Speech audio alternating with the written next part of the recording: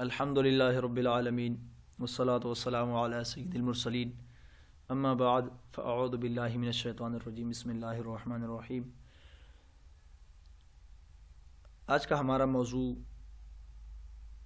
है गुमराहों से बचे हदीस हदीसुर्राबे यानी चौथी हदीस इस बारे में है। गुमराहों से बचो।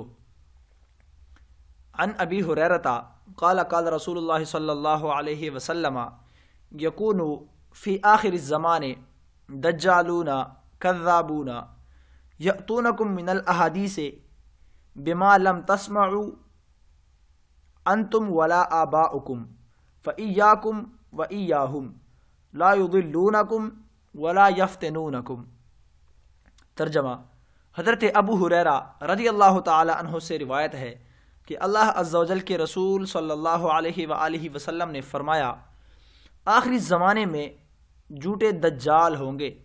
वो तुम्हारे सामने ऐसी अहादीस लाएँगे, जिनको ना तुमने कभी सुना होगा और ना तुम्हारे बाप दादा ने। तो ऐसे लोगों से बचो, इन्हें अपने करीब ना आने दो, ताकि वो तुम्हें गुमराह न करे और ना ही फितने में डाले। दज्जाल, दजल उनसे बना है, बमाना फरेब और धोखा।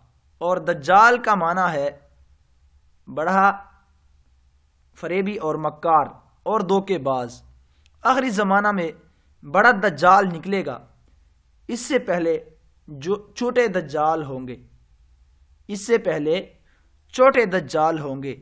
इस हदीस में गढ़ने वालों की तरफ़ इशारा है और इस कलाम मुस्तफ़ा सल्लल्लाहु अलैहि वसल्लम के मुखातब या तो सहाबा रदी अल्लाह तहुम है, या क़यामत तक आने वाले उलमा की, जिनको हदीस की वाकफियत हो। क्योंकि अगर कोई जाहिल किसी हदीस को न सुने तो ये इसका अपना कसूर है, ना कि सुनाने वाले का।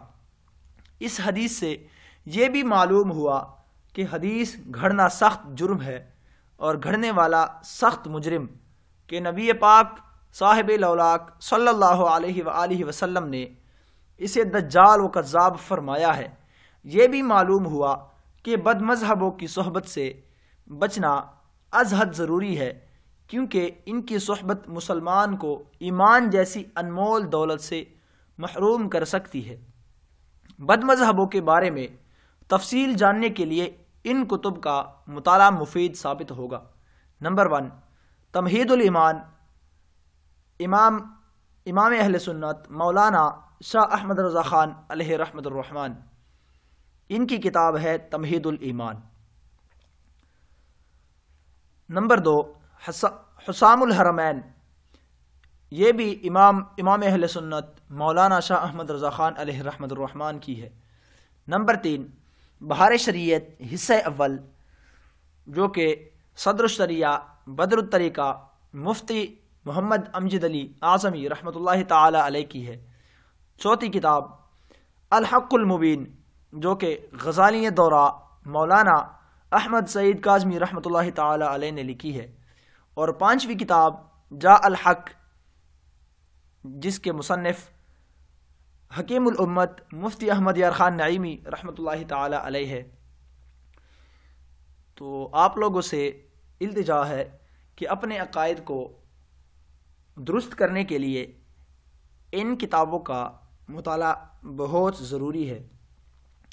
जो इस्लामी बहन या इस्लामी भाई इन किताबों की ख्वाहिश रखता है कि वो इनको देख ले, इनको पढ़ ले तो गूगल से ये किताबें आपको मिल जाएगी।